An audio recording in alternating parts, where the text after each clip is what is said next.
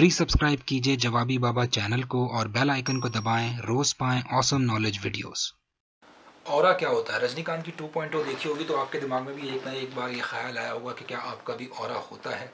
क्या हमारे इर्द गिर्द भी कोई एनर्जी की शेप है? तो दोस्तों, आज की वीडियो में बात करने वाले हैं और के बारे में। और होता क्या है? और का पर्पज़ क्या है? होता भी है या नहीं होता है, कुछ लोग कहते हैं कि दिखता है, कुछ लोग कहते हैं कि नहीं दिखता है। तो चलिए आज साइंटिफिकली बात करते हैं और आगे बारे में, क्या होता है, क्यों होता है, अगर होता है तो।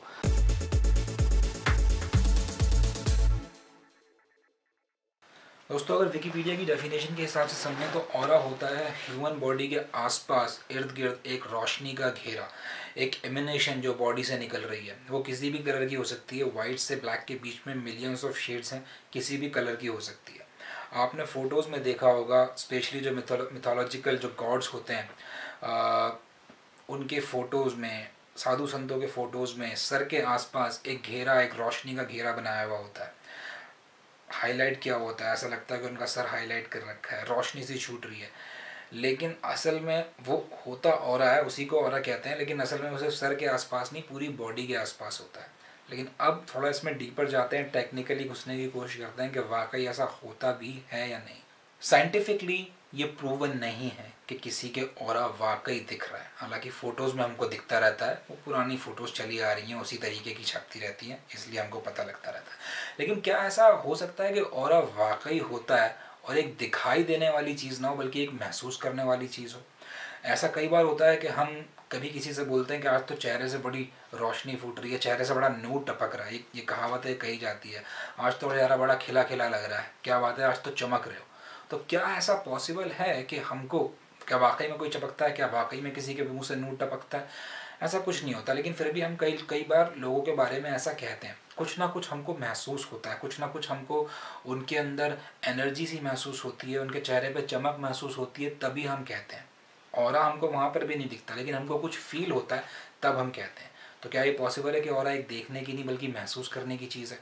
जब से और की बातें एग्जिस्टेंस में आई हैं, लोगों ने इसके बारे में बात करना शुरू करा है अब से नहीं, बीसियों साल पहले से, तब से कई लोगों ने, हज़ारों लोगों ने ये दावा किया है कि वो और देख सकते हैं और वो दूसरों को दिखा भी सकते हैं, लोग दूसरों को ट्रेन कर सकते हैं कि इसको कैसे देखा जा सकता है।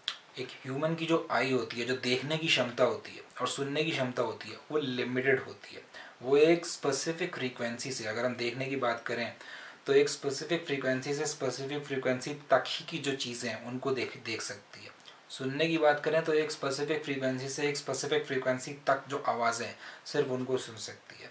यानी कि ऐसा बहुत कुछ हो सकता है विजुअली जिसको देखना पॉसिबल ना हो इंसान की आँख के लिए। और एक इलेक्ट्रोमैग्नेटिक फ़ील्ड है, जो कि इंसान के बदन से हर वक्त निकलती रहती है, दिखाई नहीं देती है, लेकिन इसका डायरेक्ट कनेक्शन इंसान के हेल्थ से होता है।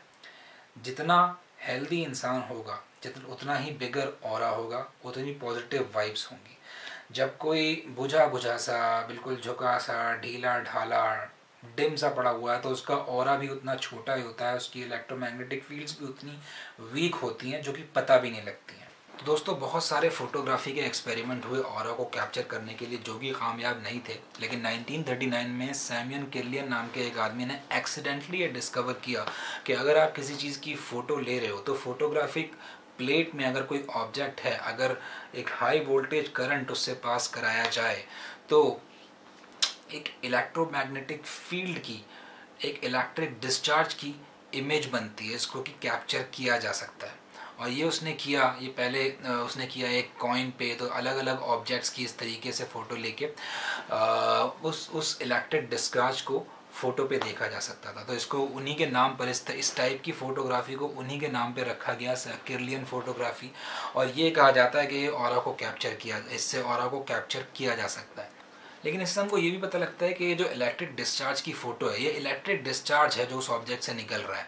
और यहाँ पर आ, ये किसी भी नॉन लिविंग थिंग से निकल सकता है कोई भी आर्टिकल सिक्का कैमरा मोबाइल किसी के भी साथ आप ऐसा करोगे तो ये इलेक्ट्रिक डिस्चार्ज की फ़ोटो आपको दिख जाएगी उसकी इमेज कैप्चर हो जाएगी।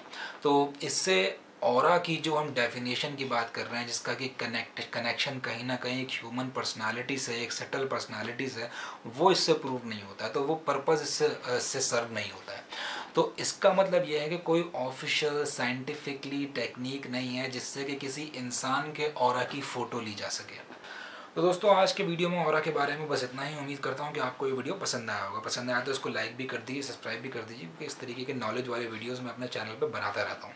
All see you in the next one now thank you